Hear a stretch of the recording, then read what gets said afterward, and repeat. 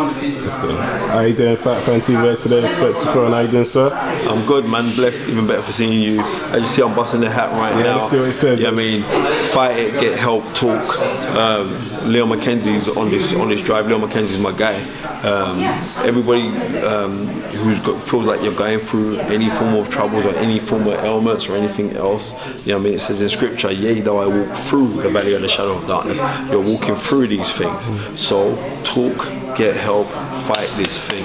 Yeah, I, I, I second that because what it is, our generation, or I say my generation, you know, feel like it's not like manly to talk about stuff. Everyone keeps yeah. keeps stuff in a lot, and One- you know, until it gets to a boiling point and it Yeah. breaks them. You know what I'm trying to say? So yeah, one hundred percent. You know what I mean? And this is the thing about it, is this: um, it's not cowardly or weakness not to talk about your problems.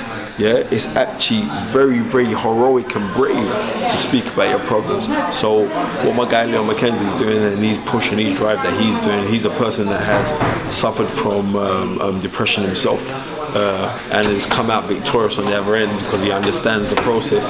You know I mean? When you believe that you're being buried, you're actually being planted, and it's up to you to take the mindset of nutrients to, to, to, to rise and grow. I love that. I love that, man.